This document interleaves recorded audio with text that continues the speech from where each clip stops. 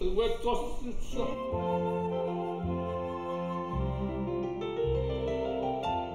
三点钟就起来，做完了就准备吃早早，准备早餐。五分。要吃什么药啊？这个给给你给你开刀装了电池啊。我心脏病怎么还要做环保？做做环保，做那你做啊，就精神好得很。穿上婚装就准备出去了。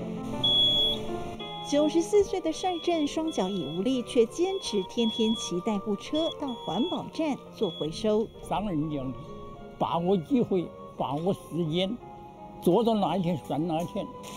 啊，我就尽量去做。看电视有滴听上人开始啊，啊，得大家做环保，啊，咱也无啥，未讲会晓做别项，啊，做环保就上好诶。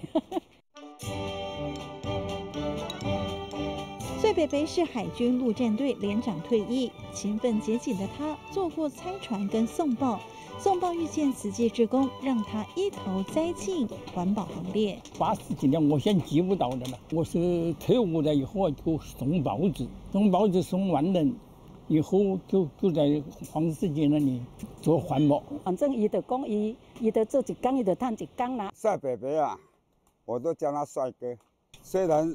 年纪大哦，他在跳那个瓶盖啊，飞得老远的哦，真的是不简单呢。挑出宝特瓶盖扣环，重复又熟练，这一做就是二十多年。这个也是今年了，哦，今年啊，这瓶子的口的地方的，天天我都做，上午就做三袋呀，两袋起码。那装的太满的就是两袋了。晚上睡觉做梦都捡瓶子呢。乖贝贝，你这样做会不会累？那个瓶子是不累。他每天一定要来，不来的话，他都担心这边的保特瓶没有人做。啊，他一个礼拜哦，都捡了，哎，差不多有一二十袋有。你看一袋一袋三百五十个，一二十袋多少个？聆听上人开示，也是帅贝贝每日必备功课。把握机会啊！我那个年龄。也差不多了，就是有有一点时间就那个能够做，有做你就做。